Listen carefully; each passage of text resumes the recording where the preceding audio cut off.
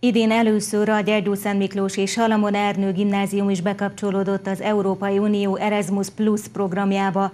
Három országból érkeztek diákok és pedagógusok, hogy a következő napokban közös tevékenységeken vegyenek részt. Lengyelország, Szlovénia és Portugália iskoláiból érkeztek diákok és pedagógusok a Salamon Ernő gimnáziumba.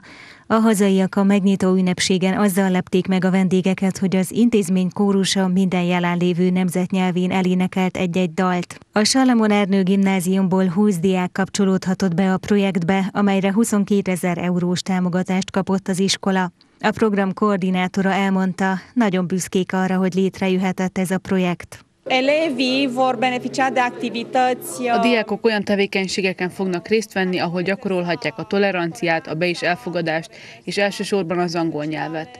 Reméljük, hogy azt szerint tudjuk alakítani, amire a mai társadalomnak szüksége van. A program tematikája a matematika alkalmazása az életben. E köré építették a tanórákat. Minden országból öt tanuló érkezett és két tanár, hogy a hazaiakkal együtt vegyenek részt a programokon, amelyek által új tapasztalatokat szerezhetnek. Szerintem nagyon jó dolog, mindennel lehet tanulni, tapasztalatot szerezni, és szétnézni a nagyvilágban.